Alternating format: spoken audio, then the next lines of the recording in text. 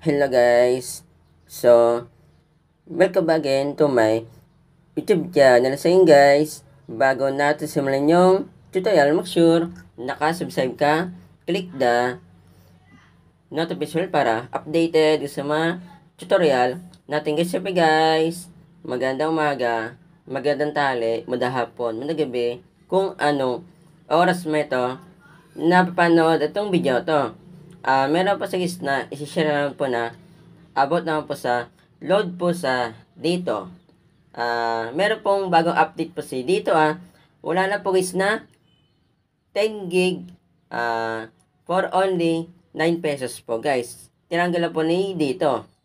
Ito po yung patunay na sinasabi po ni dito. Yan. Hanggang May 31 na lang po. Ah, dito po si tayo guys na pwede po tayo makapag-load po ng sarili po natin at makapag-reseller. Dito po sa DSCM. Ah, bago po siya i-open po ah. Pakita ko muna sa, sa inyo guys yung mga nalungkot at yung nagreklamo kasi halos na, lahat tayo guys eh. Ah, kapag nasa Pilipinas po tayo, ah, hindi na, hindi naman po tayo guys na mayaman. Ah, kaya kailangan po natin na magtipid guys, 'di ba? Katulad po sa paglo-load lang po. Ah, pause ko muna itong video ito. Pakita ko po sa guys yung mga nalungkot at yung mga nainis at nagalit guys.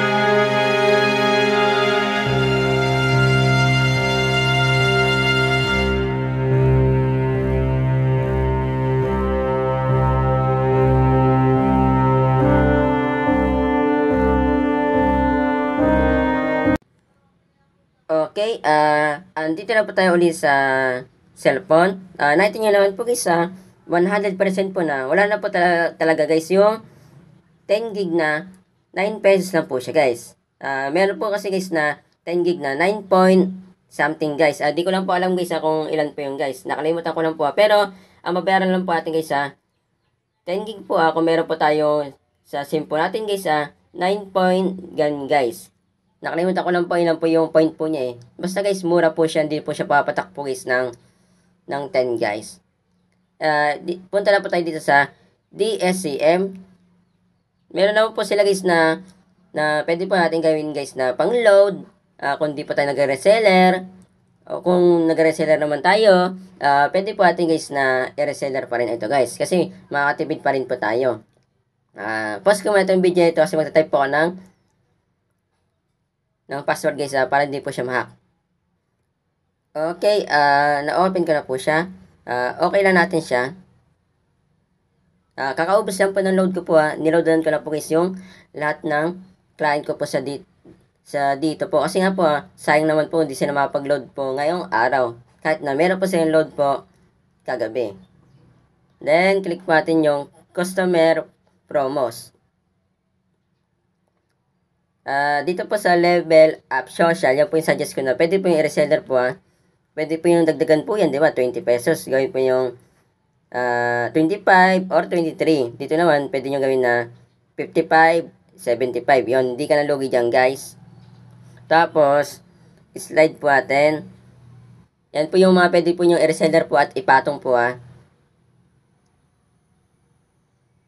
Or i-load nyo lang po sa pansarili po nyo. Ah, dito po sa data sachets, data sachets, ah, pwede po nyo ipatong po dito guys ha. Ah, 23, dito 55, dito naman 75. Ah, pwede pwede rin po ito guys ha. Pamalit po sa sa mga client po natin guys. Ah, baguhin nyo lang po yung price po yan ha. Yan.